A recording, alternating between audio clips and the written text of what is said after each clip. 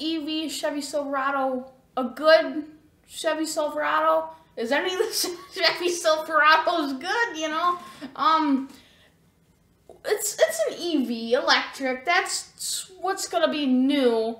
Um, for the next, you know, 10, 15 years, everybody's gonna move into electric. Um, but this is the thing: if you're gonna be towing like five to eight thousand pounds, and you can only get like 350 miles of range, you will get less because you're gonna need more wattage to tow that. So what really is your range? And if your range can be really good, um, yeah, I'd get an electric vehicle because if you can go 500 miles and towing max, you can go 350.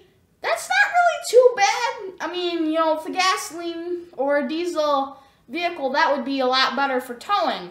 But it depends on if you're going to be towing or what you're going to use an electric vehicle or pickup truck for.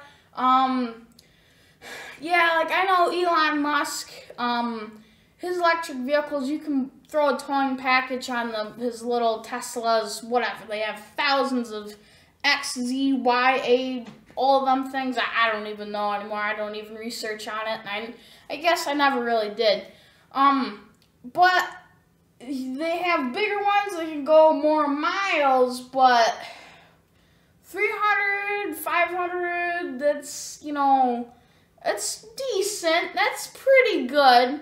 Um, but for if you're gonna be doing like a lot of traveling, each gas station is like 500 or so miles away from each other if you're driving on like the highway or something. Of course, you're gonna get better fuel economy on the highway, but if you're towing something, um, my dad with the new um, F-150 hybrid, it has a 3.5 liter motor, and the hybrid, um, like you can go to like electric mode, but also you can get that 7.2 kilowatt um, battery inverter, and um, for his work, he, he will use that. But anyways, um, he was towing probably about five to 6,000 pounds, um, and he went from Michigan to Idaho, and pretty much all the way he only got about 7 to 8 miles per gallon.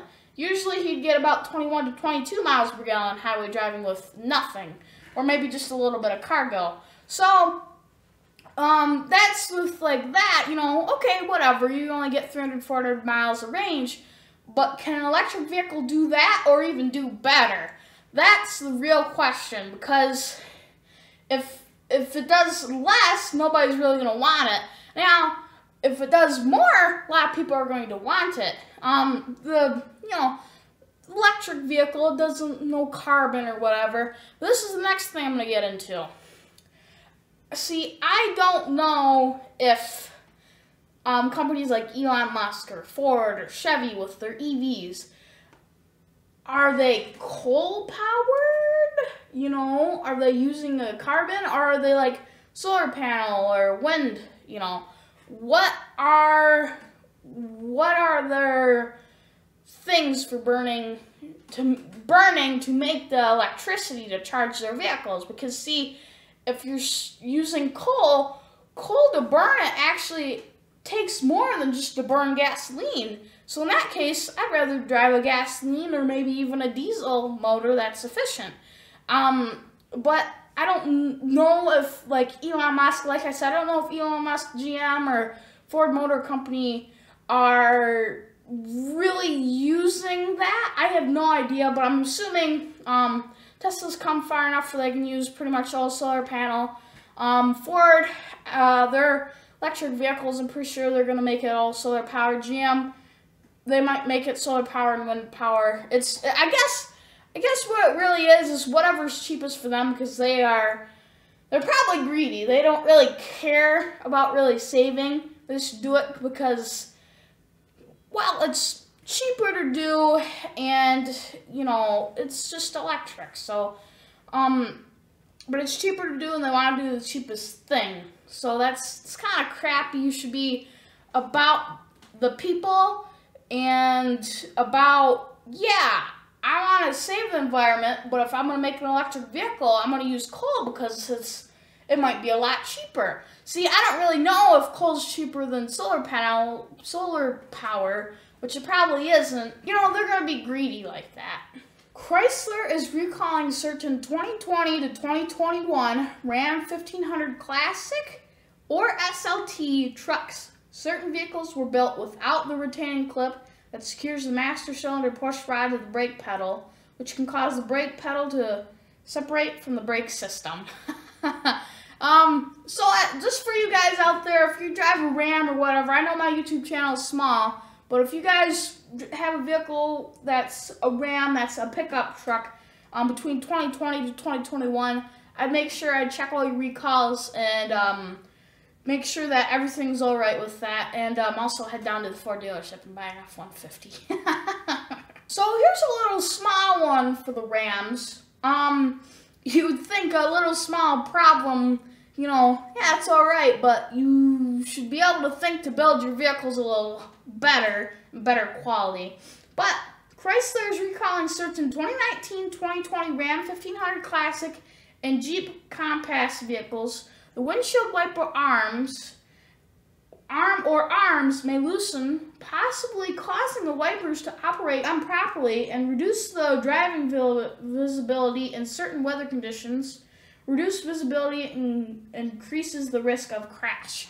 Yeah, I mean, it's it's something stupid. You you should be able to build a wiper and a wiper blade that should last. I mean, something like that, really, Ram? Really, Chrysler? Jeep, and they're all the same thing. You gotta step up your game. Come on. Ford Motor Company has announced that the recall of 185 F-150 pickup trucks from 2021 to 2022 model years to fix an issue where the drive shaft might be damaged by loose, loose parts. Heat noise injection panels could come loose and impact the aluminum drive shaft. So just for you people out there, just make sure your F-150 is up to date. Um, or, you know, you should be signed up with something where you get it in the mail and you should be, you know, all right on your recalls. Just for you guys out there, just to make sure you guys check that. General Motors is recalling certain 2018 to 2019 Chevrolet Cruze and Buick LaCrosse 2018 to 2020 Chevrolet Equinox, Chevy Chevrolet Traverse, and GMC Terrain 2018 Chevy Malibu, 2019 to 2020 Buick Rogue, and Buick Enclave Cadillac XT4, Chevrolet Blazer, and GM Acadia, and 2020 Cadillac XT6 vehicles. It does not show the reason why they're getting recalled, but just make sure you just, I'm always saying, make sure you guys' vehicles are up to date for recalls and yeah, just just make sure your vehicle is good to go because you wouldn't want something happen to them. They they didn't say what was with the recalls, but just for you guys out there, just to make sure. There is this app called NHTSA um, Safety Recalls. Um, you can search your vehicle, see what is wrong with it, um, if there is something wrong, or just to check up on recalls. Um, that's the app I've been using. I've also um, just been searching on Google recalls and everything. Um, but just to let you guys know, this app has been great. Um, there will be a link in the description for it. Hope you guys enjoyed. Make sure you guys like, subscribe, hit the bell for post notifications. I need help with fixing my hair. Anyways, catch you guys next time. Oh, just a second, just right before I go. I got my new setup. I moved my computer downstairs. Got it right behind here for Twitch streams and everything. But that's not this type of video. So hope you guys enjoyed. See you guys next time on Wade Farms.